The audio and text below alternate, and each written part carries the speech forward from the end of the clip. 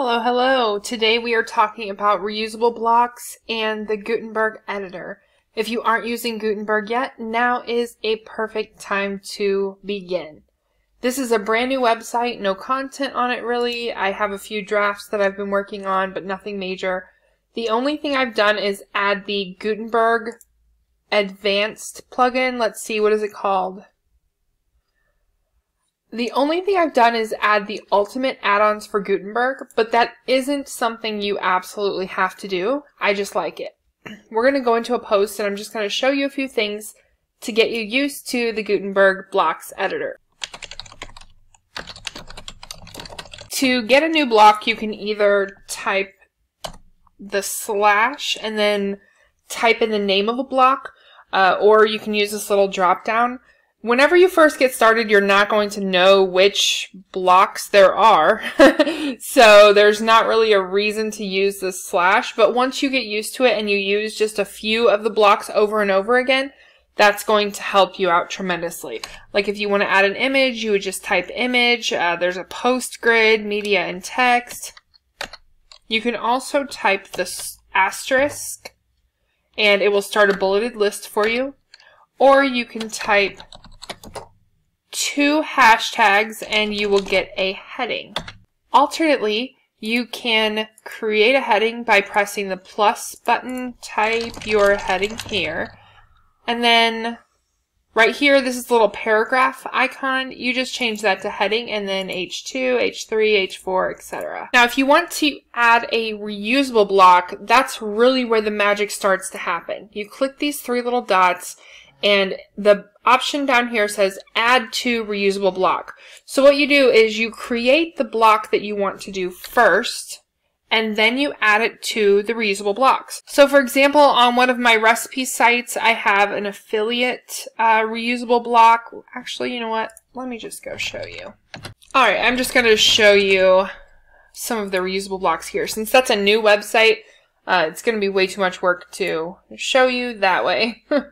okay, you go down here to browse all, and then you're going to see all the different blocks, and then it kind of gives you an example right here too of what it's going to look like. And then you have blocks, patterns, or reusable. So reusable blocks is what I'm talking about. I have tons of different ones in here. The main one that we use is actually for iTrack Bytes. And we have a few of them. So there's two different ones. There's this one. And then there is this one. So I use both of these in most of the posts. Um, this is something that changes from time to time though. So uh, what's great about reusable blocks is that you can edit them and if you click edit, and you edit it this way, that's going to edit it globally, which means if you have this block in 100 different posts, it's going to edit it in all 100 posts. This is probably the reason I switched to Gutenberg. I was a die-hard classic editor fan. I refused to switch to Gutenberg, and then someone told me that you could do a block like this and change it globally and oh my goodness, my world was changed. If you're an old school blogger like I am, you remember having to go in and change your forms or your opt-ins or whatever you put at the bottom of your posts on each post. I remember one time I was changing my opt-ins and I had to change it on like 120 posts. It was ridiculous. So this block alone, just the fact that you can use a reusable block and edit it globally that alone is worth using the Gutenberg editor. if you don't want to edit it globally, if you just want to edit it in this post, you just click convert to regular block. And then you can edit it here, but it does not get edited everywhere else. Uh, same thing with this one. I love that this can be changed globally because this changes all the time. They change the structure of the program, all of that stuff. So it's absolutely beautiful to be able to do it. And one way I like to use these is with affiliate links. If you have an affiliate link that you use in a lot of different posts, make it a reusable block. So sample reusable block blah, blah, blah. And then we're going to do the three dots and it's going to say add to reusable blocks. You can title it, so blah sample. And then if I wanted to add this to another post, I could do that easily. We're going to go ahead and remove that block. My most used blocks are the following. Let's see.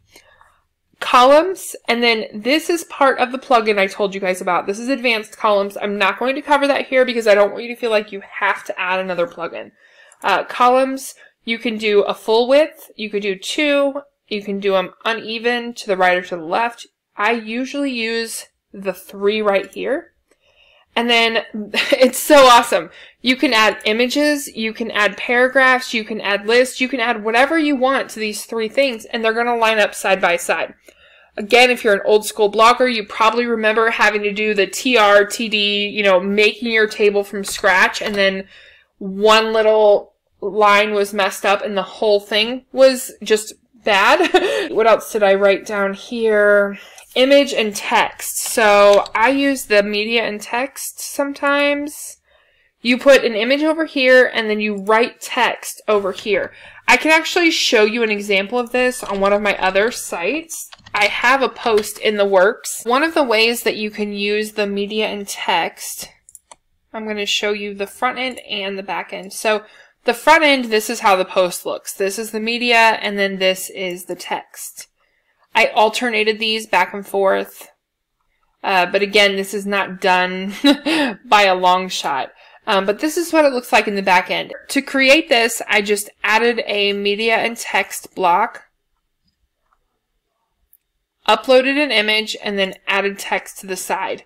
And right here, it lets you alternate so you can change it and have the image on the left or the right. I liked it going back and forth. It kind of seemed a little bit easier for the eye and uh, easier to get more pins. With this type of post, I probably would make it full width.